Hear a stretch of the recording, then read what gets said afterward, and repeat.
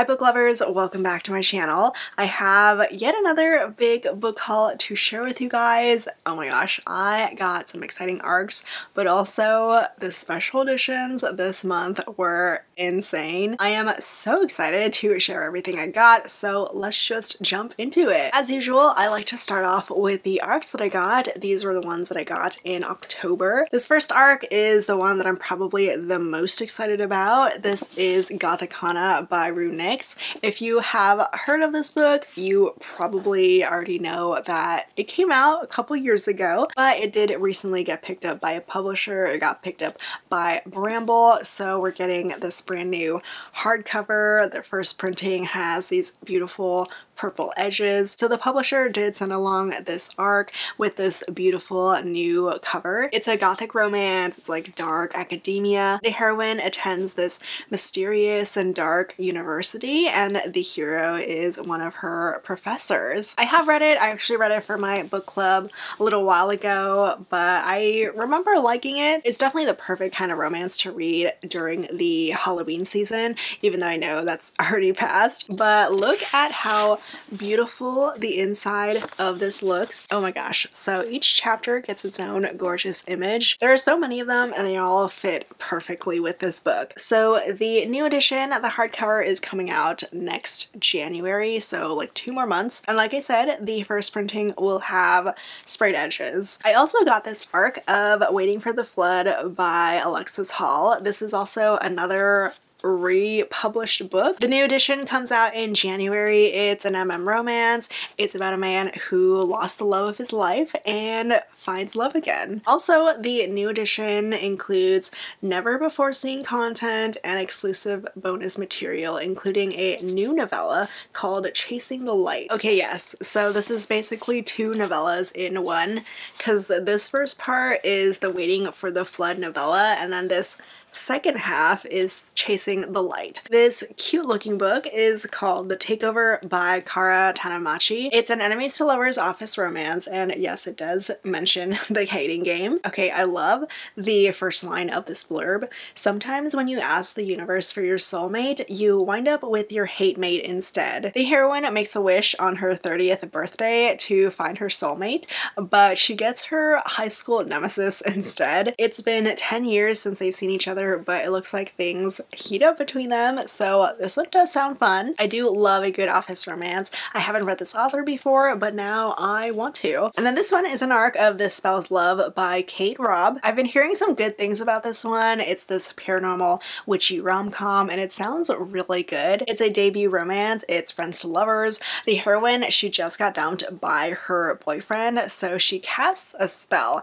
to try to erase him from her memory, except except the spell kind of goes haywire and she winds up in this alternate reality where she never dated her ex and her best friend now has no idea who she is. So she's trying to get him to remember her again and also try to get him to kiss her. I just love the idea of the alternate reality thing. I'm kind of surprised we don't have more romances like this. But yeah, I'm excited to read it. Hopefully it is really good. And then this last arc that I got is Fish Out of Water by Katie Ruggles and it's got this super cute looking cover. The back says, why date a mountain man? Because he knows how to pitch a tent. So this is a mountain romance. The heroine's sister, she disappears while on a hike one day, so she decides to go on that same hike to try to find her. It's set in the Colorado Rocky Mountains. The hero is the local hermit. He's this grouchy survival expert who she asks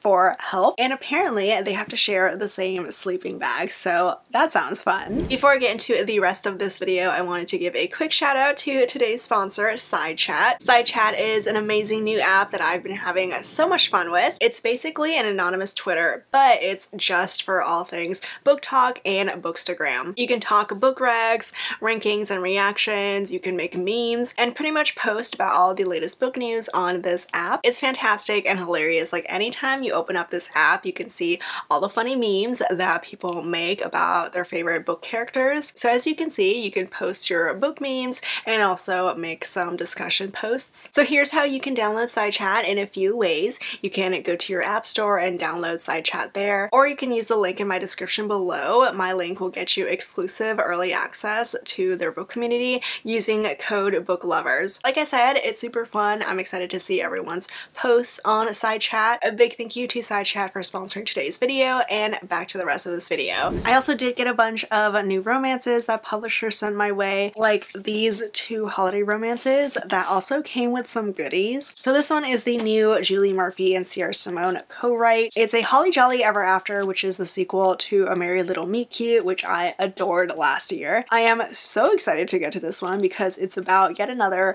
Christmas movie where the main characters are stars in, except this time it's not some squeaky clean Hallmark movie. It is very, very steamy. The heroine used to be like a Hallmark sweetheart, but now she is diving into the deep end. And the hero is another member of the boy band that this series is about. And he just recently got viral in a bad way because it was a sex tape. So the book also came with this cute little ornament. It's got the title on one side and it says Santa aims to please on the other. And then this holiday romance is a new one from Tessa Bailey. This one I have already read. It was cute, pretty unique. The main characters are children of members of this former band. They go on reality TV to try to get their parents back together in their band. And the swag that came with it is this cute little beanie. It says, slaying my TBR. And this is me wearing the beanie. And then this one is Friends Don't Fall in Love by Erin Hahn. The heroine is a country superstar, but when she sang this protest song at a concert, her career tanked. Five years later, she wants to make a comeback and she asks the hero for help. He is a good friend of hers and he's also her former fiance's co-writer and bass player. So this one has Friends to Lovers and country music. I also got one of my most anticipated reads of 2023. This is King of Greed by Ana Huang. This is the latest book in the Kings of Sin series. It is the groveling romance, though I haven't read it yet, so I can't speak on the grovel just yet, but the publisher sent over the book and this beautiful art print of Dominic and Alessandra. It's their marriage and trouble romance. I don't know why I've been holding off on reading it. I will get to it soon, but I just have a lot of things to do before I can get to this one. And then here is this new publisher edition of Done and Dusted by Lyla Sage. This one was a former indie book that got picked up by a publisher. It got picked up pretty quickly, I think. Like the book only released this year and it's already with a publisher and the paperback is out. I actually just started listening to this one in audio. My library has the audiobook, so I figured why not let's read it this way. It's been okay so far. I can't say that it's anything unique now that we have a plethora of small town cowboy romances. It is also a brother's best friend romance, but nothing's really been standing out to me about it except for this cover. I also got Love Redesigned by Lauren Asher. This one just came out and I just finished reading it. It was so, so cute. It's this enemies to lovers romance between childhood rivals who kind of became something more in college, but then that got ruined. So they do hate each other again and the heroine returns home to their small town, which is the same town where Final Offer was set at. It's Lake Wisteria. And yes, we do get a Cal and Alana cameo here. This was great though. I had a lot of fun with it. I am so excited for more in the series. And also, look how cool this is. The publisher sent this sort of newspaper article about the main characters. It says, Lopez v. Munoz, fender bender or failed assassination attempt. It's talking about the first scene where the main characters reunite at the very beginning, but I love it. It's Wisteria Weekly. There's also this super cute postcard that says, Welcome to Lake Wisteria, home of Dahlia Munoz, celebrity interior designer and reality TV sensation. And then on the back, it says, Truth is, I'm not sure why Dahlia Munoz is back, but nothing good can come of it. Nothing good at all. I also got a couple new releases from Berkley. I love this one It's the new publisher edition of Corrupt by Penelope Douglas. I mean, okay, I'm not in love with this new cover just because it looks a bit too simple, but I'm still excited to have this in my hands. If you know me, you know how much I am a Penelope Douglas fangirl. So I want to get my hands on all the editions of their books. But yes, this is the first book in their Devil's Night series. The whole series did get picked up by Berkley, like a bunch of their books got picked up, so we're gonna get some new covers. This Corrupt edition also has a bonus scene. It's a Valentine's Day scene with Rika and all the boys except Damon because he's still on the run. But I read it and I just remembered how much I love these characters and this world so, so much. And then this one is Cold Curses by Chloe Neill. This is the latest book in the Heirs to Chicagoland series. I still need to catch up on the series. I haven't read anything past like the first one or two books. I love the Chicagoland Vampire series back in the day and this series is the spin-off of it about the second generation and I actually love the beginning of the series so I need to continue with it. And here is the beautiful paperback of Hunt on Dark Waters by Katee Robert. It's the start of a new fantasy romance series with pirates. The heroine is a witch and she falls through a portal landing in a different realm and she's fished out of the sea by the pirate hero and she joins them on his ship. And this one is the new Nalini Singh thriller. It's called There Should Have Been Eight. It's about this group of friends who go on this getaway weekend together and there's some questions because there are seven of them there and there should have been eight. Denise Williams has a new book out called Technically Yours. It's a second chance office romance. The main characters met and fell in love almost a decade ago, and now they reunite because the hero is now part of the board of directors at the heroine's company. Also, it is a STEM romance. The company that the heroine works at, it's about coding. Another book I got is The Predictable Heartbreaks of Imogen Finch by Jacqueline Firkins. This is a new to me author author, the heroine here, she has experienced heartbreak her entire life, but when her secret high school crush comes back into town, he decides to help her win at love. And then this book is Filthy Rich Vampire by Geneva Lee, and it's got some pretty gold foiling on the title. It's a fake dating vampire romance, so I already kind of love it. The hero is a very eligible vampire bachelor. He's expected to find a wife even though he doesn't want one, so he asks the heroine for help. She is this human cellist and she agrees to become his fake girlfriend. I also got the new Julie Tieu. This is Fancy Meeting You Here. It's opposites attract when an always the bridesmaid florist and a grumpy caterer mix business with pleasure. So it's a wedding romance between a bridesmaid florist and a caterer who work together for the same wedding.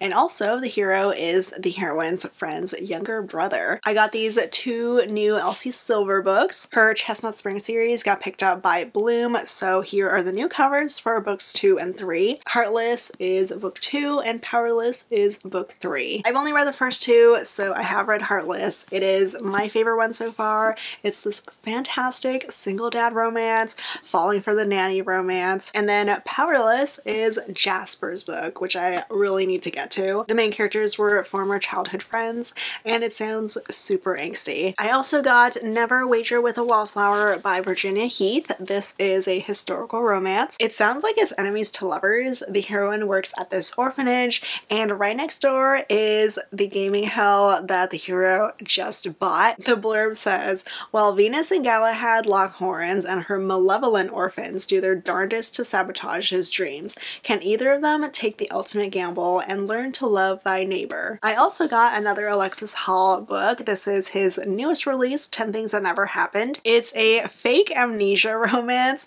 The hero, one of the heroes, just got fired by the other hero and he accidentally hits his head and pretends that he got amnesia so he doesn't remember getting fired. It's part of the London Calling extended universe, so somehow related to boyfriend material. I also got a couple fun non-romances from publishers. This gorgeous hardcover is the official Bridgerton guide to entertaining. Look how beautiful it looks. And the back cover too.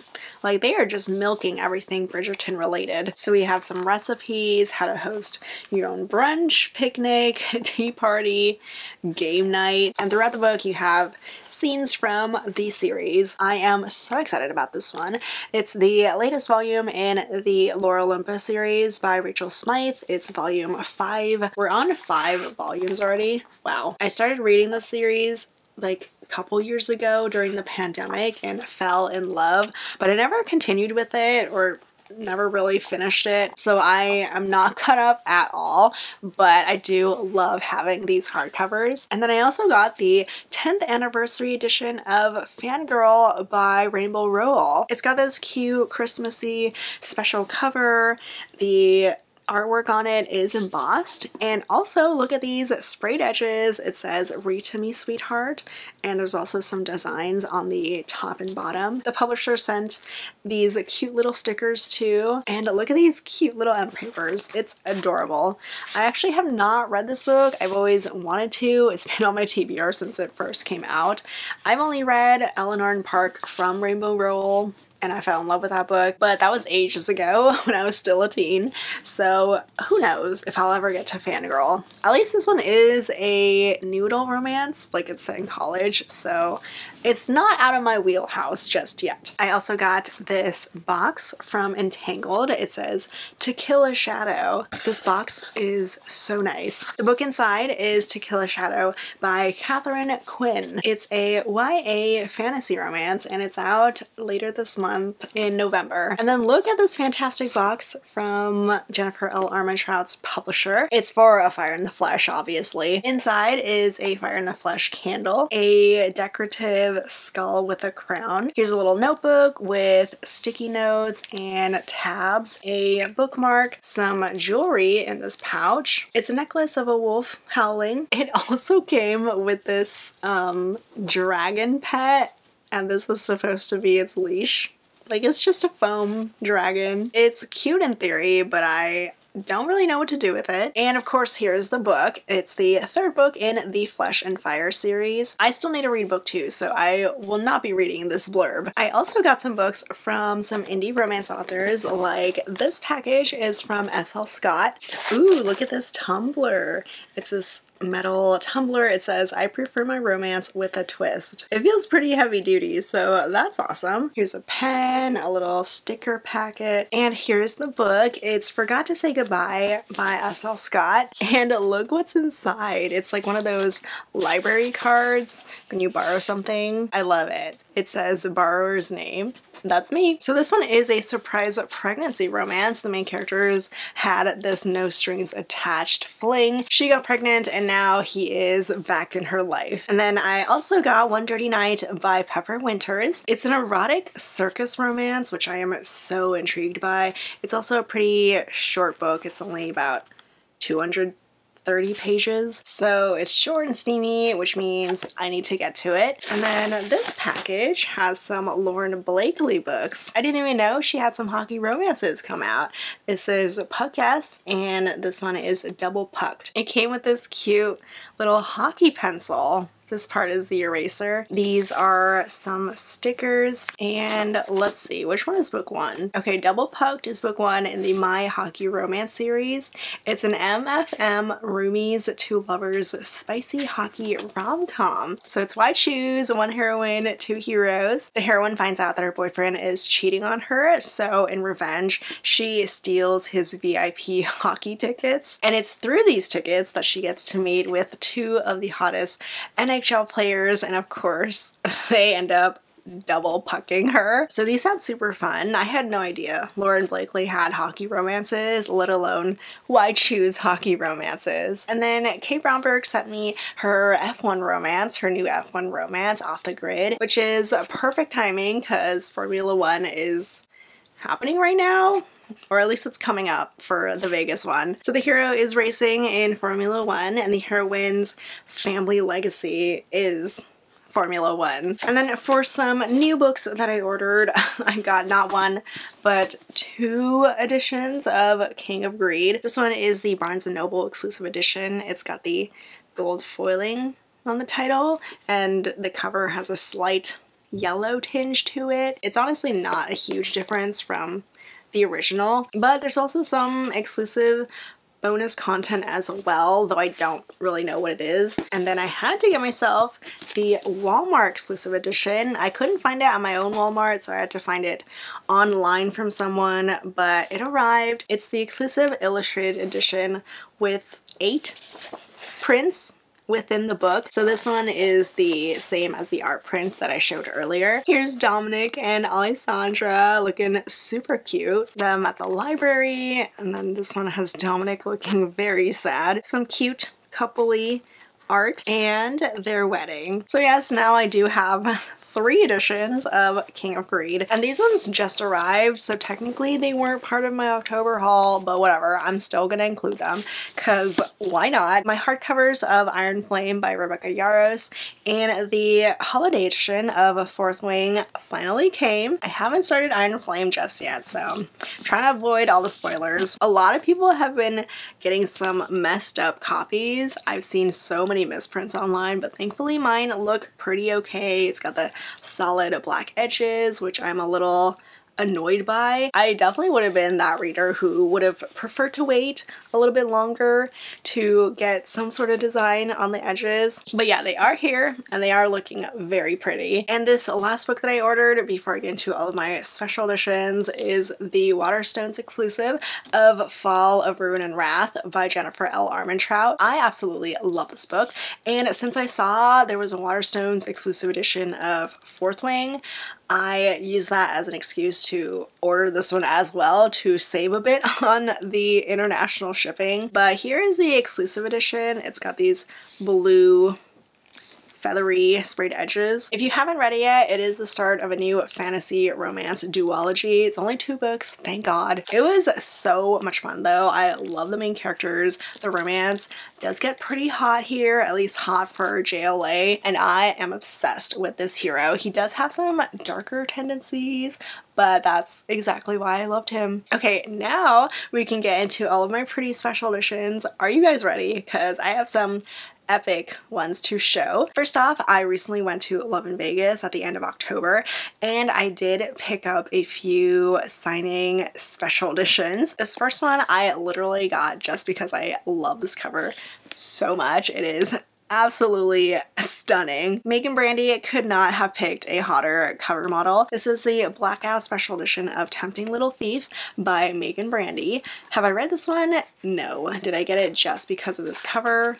Absolutely. I don't even know what this book is about, honestly. It might be a dark romance, but the model is also inside the book. And the other special edition that I got at the signing is the Lancaster Prep Duet by Monica Murphy. It's a chunky paperback because it's got two books in one. So the two books here are Things I Wanted to Say and A Million Kisses in Your Lifetime. I've only read A Million Kisses. That one's the more popular one. It did recently get picked up by a publisher, but I couldn't resist getting a copy of this. And then let's go with Tate James. These are the Hades series special editions. I love everything Tate James, so I couldn't resist. This is book one, Seventh Circle. It's got this gorgeous red. Book two is Anarchy in this pretty green. Here is book three, Club 22. The series is another reverse harem Why Choose Romance series from Tate James. And book four, Timber. This series is set in the same Shadow Grove world as Madison Kate, which I also do love, but I'm super happy to have these in my hands. I do also have some more Tate James special editions. These are the ones from Mystic Box. I am in love with these. This is another series that's part of the Shadow Grove world. Okay, first up, some pretty art prints. This one's a little spicy with a butt crack showing. And then these are the two special editions, hardcover special editions of the first two books in the Valenshek Legacy series. I think there are three books in the series, or there's supposed to be three, so there might eventually be a third special edition to match, but this is book one, Heist. I love the silver foiling here and then the author's signature on the back and foil too and then these are the sprayed edges. Book two is Forgery. Look how pretty this one is as well. Just so shiny. I love it.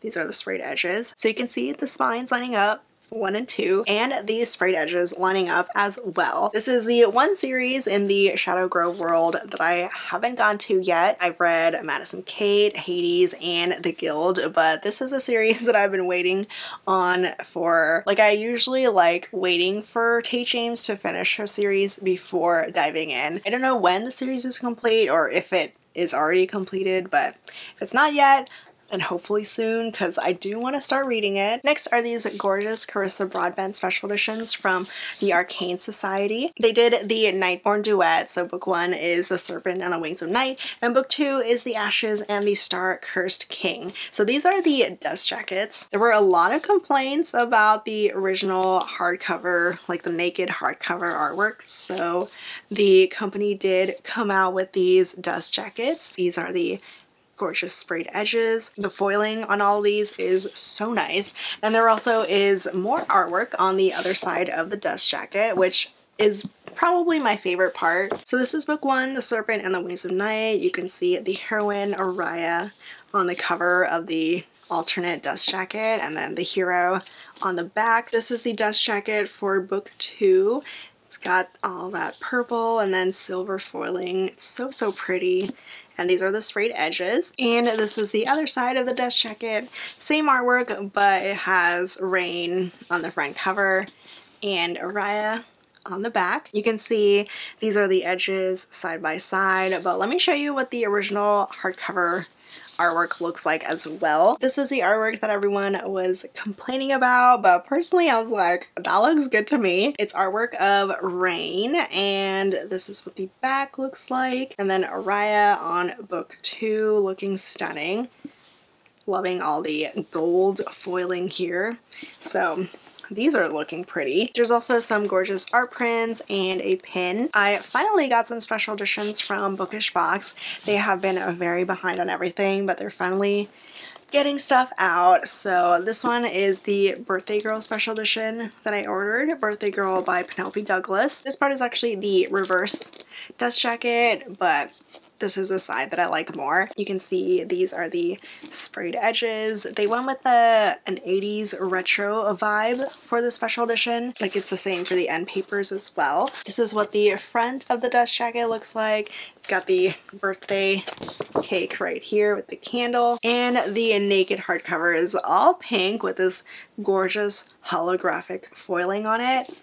You can see the spine and piece of cake on the back. This is one of my all-time favorite books, so I couldn't resist getting a copy. I know I would have regretted it if I didn't get it. And this is the special edition of Fourth Wing by Rebecca Yarros. They did a naked hardcover, no dust jacket, but it came with these metal corners. And this is the sprayed edges. Here are the Dragon M papers. Here's the spine, and this is the back of the hardcover. It also came with some very pretty page overlays. This is Violet. This one is of Xaden. This gorgeous one is of Tairn. And of course they had artwork of Andarna. I also got two boxes from Hello Lovely Box. This first one is their annual Halloween spooky box. It came with three books and some goodies like this green mug. It says Creep Caffeine Create. There's this gorgeous makeup pouch. It has skeleton making